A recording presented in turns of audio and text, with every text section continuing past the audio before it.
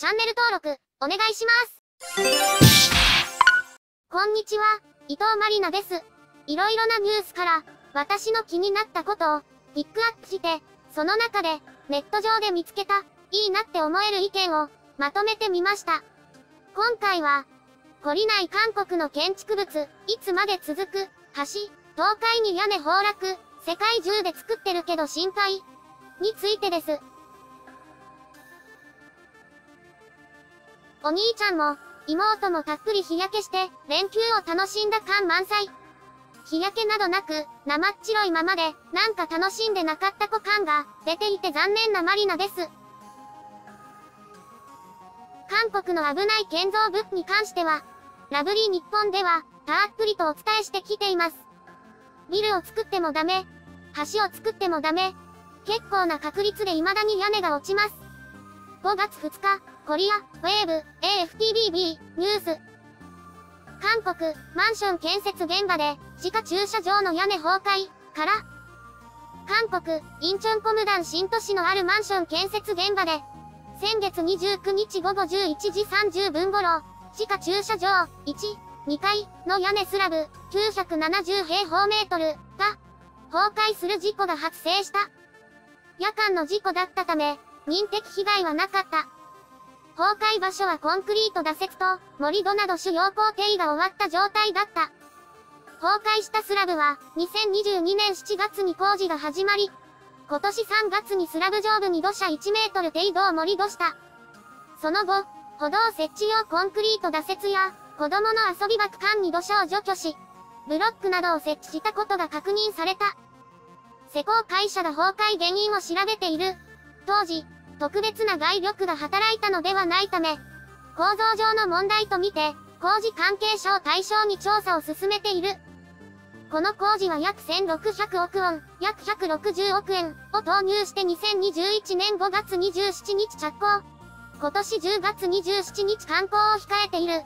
工程率は67%だ。完成してから、崩落という最悪なケースではないようですが、たまたま幸運だっただけと言えます。設計ミス、構造計算の誤り、工事事業者の手抜き、工程管理ミス、材料の間引き。さてさて、どれが当てはまるんでしょう？全部かな？近年でも、2021年6月、クアンジュ市トングハクトンの再開発区域で、撤去中だった5階、建物が崩壊しました。2022年1月、クアンジュ市ソクカジョンドンの39階建てマンション、現代アイパーク、新築工事現場で外壁が崩落しました。韓国は、こうした大きな崩壊事故が続発する国です。さらに過去には、1994年、ソウル湾岸清水大橋崩壊。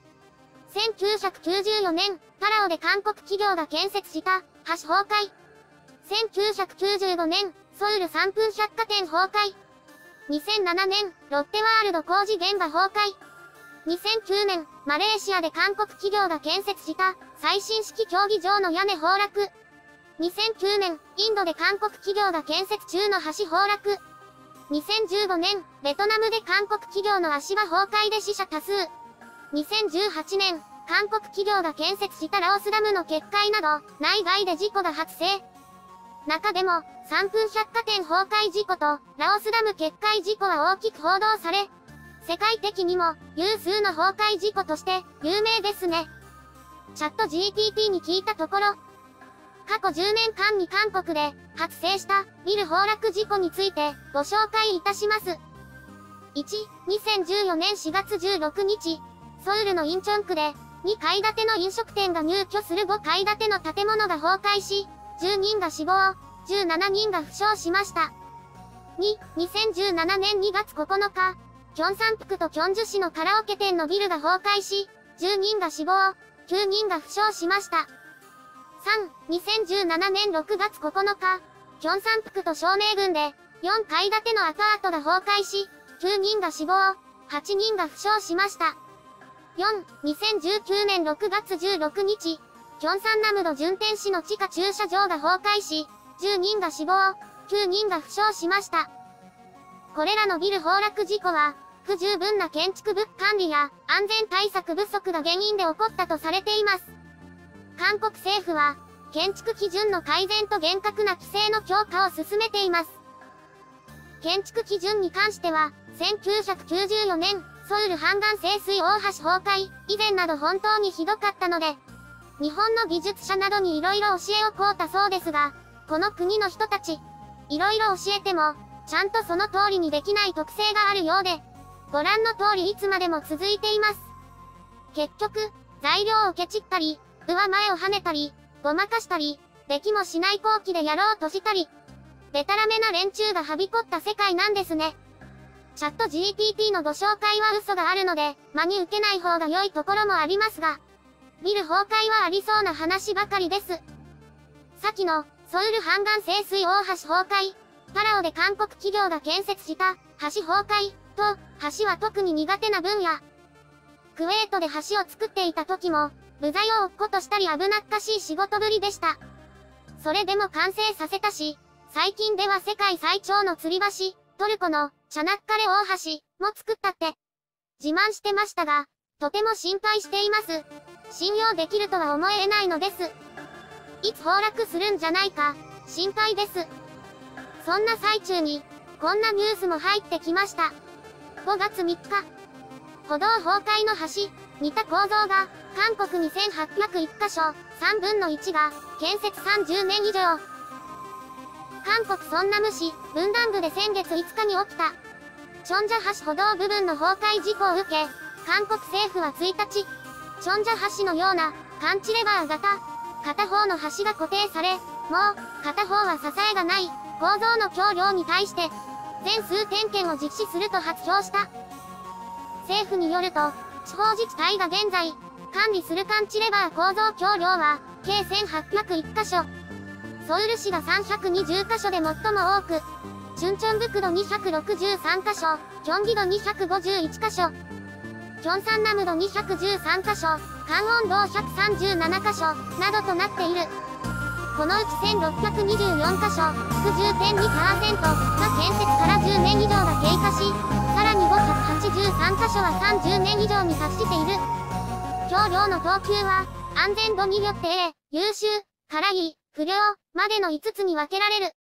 B、良好、と C、普通、は部材に欠陥があるが、安全に支障がない状態。B、不十分、と。E は部材の欠陥で使用を制限、禁止しなければならない状態だ。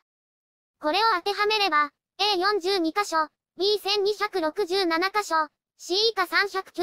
箇所だ。施設物の安全や維持管理に関する特別法上。新規登録のため、等級が定められていない橋梁は94箇所だ。崩壊したチョンジャ橋は、過去の定期安全点検と精密安全点検で B と C を受けていたのに、崩壊事故が発生しており、政府は等級に関係なく、すべてを点検することにした。主な点検事項は、橋梁の亀裂、破損有無、歩道部分の変形の有無、上下水道管など、施設部追加設置による構造物損傷有無、など、30年前のものは、もう、そういう基準とかないに等しい時代のものとして、もう仕方がないとしても、10年前のものは、ちゃんと作れないかな。世界規模の建設なら大丈夫で、韓国国内の建設だからダメなの。ソウル湾岸清水大橋崩壊の直後、散々検査や回収をしてたけどね。ラブリー日本では、時折警鐘を鳴らしていますが、韓国の建物には耐震されているとはいえ、おそらくずさんなものばかりなはずです。地震がほとんどないから、相当侮っているはず。一番怖いのは日本海側に並ぶ原発です。建築年も、危なっかしい時期のものを多く含みます。IAEA、韓国にも徹底調査お願いしますよ。皆さん渋滞とか大丈夫でしたか？大変な目に遭わなかったですか？それ以上の思い出が作れたら何よりです。一応、バイクで走り回れたし、ケルシャーでカタカタおばあちゃん、おじいちゃんのうちの壁の汚れ落とせたし、ママ方おばあちゃんに iPhone の使い方、教えることが、できたりと、いろいろやった連休だったと、満足しているマリナでした。皆さん、いろいろなご意見がありますよね。ご視聴ありがとうございました。伊藤マリナでした。また、お会いできるのを、楽しみにしています。